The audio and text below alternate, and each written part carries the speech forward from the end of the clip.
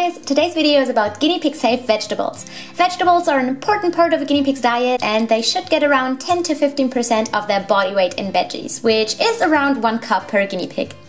I color coded some of the veggies. Green means safe and yellow means safe but still need some attention. Some watery veggies, such as lettuce, could cause stomach problems if they're fed in huge quantities or your guinea pigs aren't used to them. However, I listed them as green as I'm sure you all introduce your veggies very slowly.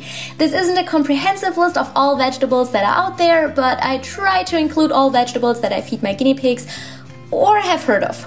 So let's start with the veggies. On the list are carrots. They are high in sugar, so they shouldn't be fed in huge quantities, but they are a great source of energy. Some guinea pigs seem to really love them, mine aren't huge fans. Bell peppers are a great source of vitamin C and most guinea pigs love them. Make sure to remove the seeds. Yellow bell pepper has more vitamin C than green and red. Some guinea pigs seem to prefer the taste of a certain bell pepper color.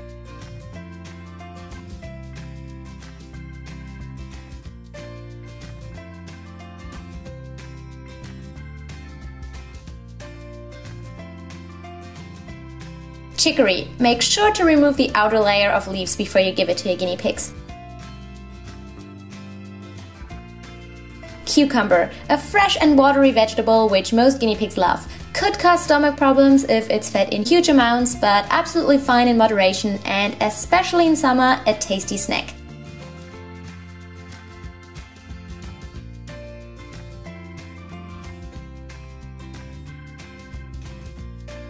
Lettuce. There's so many different kinds of lettuce. Whether it's red leaf lettuce, green leaf lettuce, Roman lettuce, radicchio or stem lettuce, most of them are fine for guinea pigs, even though Roman lettuce is very high in calcium.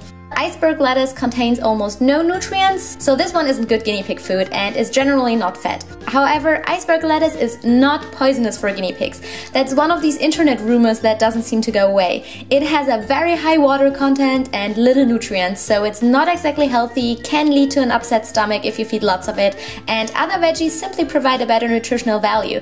It's basically water pretending to be a vegetable, eh, but it's not going to kill your piggy if you accidentally feed a leaf. That doesn't mean that you should include include it in their diet, but you also don't have to worry if you accidentally feed it. Fennel is a very filling and stomach-friendly vegetable. Celery should be cut into very small pieces so that your guinea pigs don't choke on the strings. My guinea pigs refuse to eat it, but they love the little leaves. Beetroot should only be fed in small amounts and can change the color of your guinea pig's pee. Radish. Radish shouldn't be fed, but the leaves are a yummy snack for the piggies. Courgette or zucchini. Perfectly fine veggie. Kale. I've never fed it to my guinea pigs, but it seems to okay as an once or twice a week kind of veggie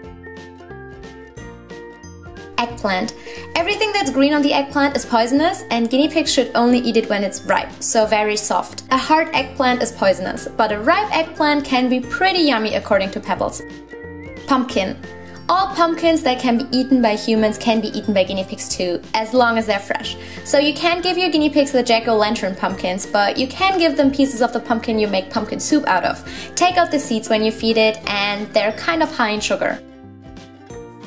Tomatoes technically not a vegetable, but I'm still including it on this list. Shouldn't be fed every day and the green parts are poisonous. Some guinea pigs don't react well to the acid, but my guinea pigs all agree that it's tasty.